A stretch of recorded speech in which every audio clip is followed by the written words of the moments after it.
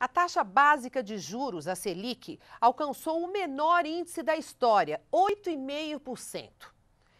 Crédito mais baixo e IPI reduzido para automóveis quer dizer preços menores. Será que isso dá mais poder de compra ao brasileiro? Aquece as vendas? Entenda melhor a importância dessas medidas econômicas na reportagem de Paulo La. 8,5% ao ano. É a Selic mais baixa da série histórica iniciada em 1986 e a sétima redução consecutiva nas taxas de juros. A Selic é importante porque é usada como referência nos juros cobrados, por exemplo, em empréstimos e em compras parceladas.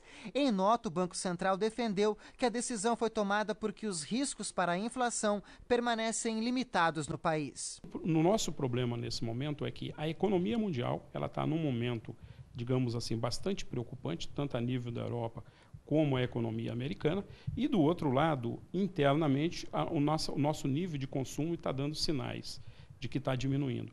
Então, esse é um momento adequado para você baixar a taxa de juro. Ou seja, é um contexto atípico na economia, mas que o governo tem que aproveitar. Cinco vezes sem juros é o que informa a loja. Em média, uma redução da Selic repercute na economia e no bolso das pessoas depois de seis meses. Mas, como há nove meses o Banco Central reduz os juros, os preços já estão caindo e o consumo deve aumentar. É gostoso você ver que você pode é, ter conforto na sua casa, comprar é, coisas que antes a gente não podia comprar. Né? O assalariado, por exemplo, ele pode financiar uma geladeira, uma televisão em mais vezes. Eu acho que é, é bom, é bom para todo mundo. E as medidas para incentivar o consumo vão além das decisões do Banco Central. O governo reduziu o imposto sobre operações financeiras cobrado no dinheiro emprestado ao consumidor de 2,5% para 1,5%.